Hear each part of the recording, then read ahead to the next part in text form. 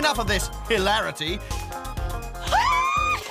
oh my god! If I was a bloke, I'd you look absolutely Oh. gorgeous. If you're a bloke, you'd get a slap. I'd help. Oh my. No, just two old men.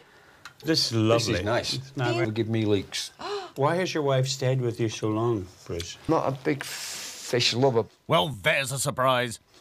but because she Bruce is fussy, but you know, God love him for trying. He is trying his hardest. You know, he's getting stuck in. He, he's trying food that he wouldn't normally eat at home. I got so far through it, and then this... Faint. I love sex, but this is better. Anyone? Actually, He mm. laughs at me because when I have a drink, I go poosh. Do you get poosh?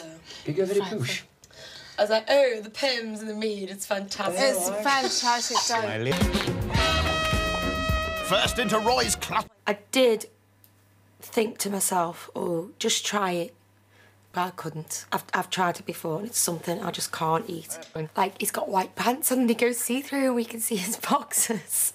And he said if he bends down any further, his kecks are going to split. Bruce started tonguing each other. I was like, uh, where's my cab?